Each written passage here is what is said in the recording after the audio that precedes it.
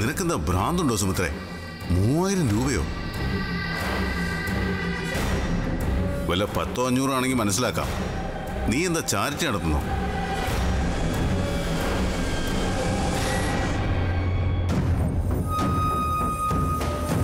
വളച്ചു കെട്ടാതെ നേരിട്ട് കാര്യം പറ സുമിത്രേ. എന്തിനാണ് ഇത്രയും പണം? രഹസ്യമായിട്ട് ഇവിടെ എത്തിക്കാൻ നീ ശ്രീകുമാറിനോട് പറഞ്ഞത്?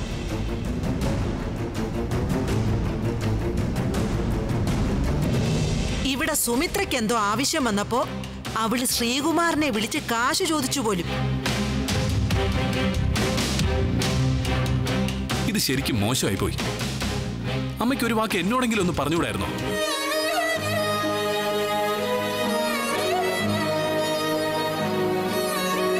കുടുംബവിളക്ക് ഇന്ന് രാത്രി ഏഴ് മുപ്പതിന്.